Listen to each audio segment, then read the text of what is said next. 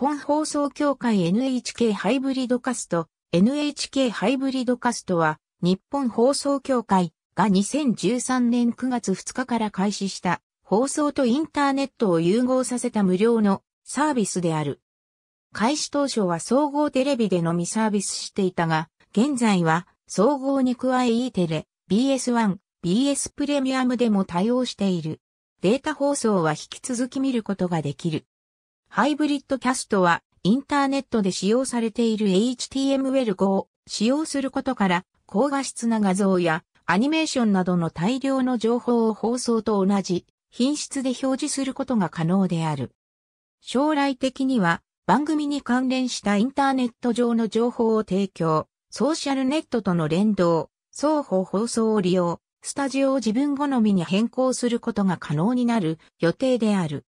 これと似たデータ放送との相違点は BML という技術を使用し、放送波の空きスペースに情報を載せることから容量に限りがあり、文字など少量の情報しか表示できないという点である。2013年10月現在は NHK のみだが、民放各局もサービスを検討している。しかし、CM があることから画面上にコンテンツを重ねて表示することには消極的である。サービス開始時は独立型でニュースや気象情報、為替のみであるが、秋以降は放送連動型で放送に連動したコンテンツなどのサービスが加わる予定である。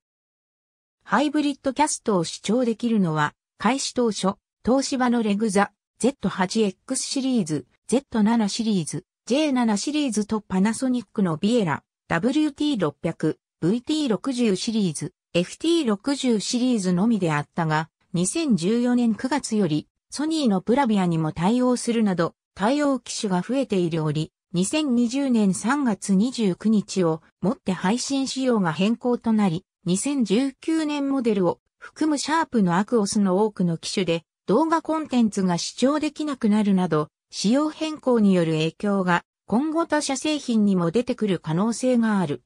放送連動型としては、双方向クイズ電化統一の2013年12月20日、紅白の回から対応した。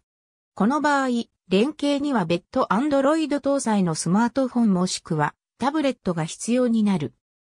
今日の料理の2014年3月31日放送から E テレに対応し、9月29日からは仕事の基礎英語も対応。ビズサンデーの2014年10月5日放送から BS1 で世界ふれあい街歩き2014年10月7日放送から BS プレミアムでそれぞれ初めてサービスを開始した。ありがとうございます。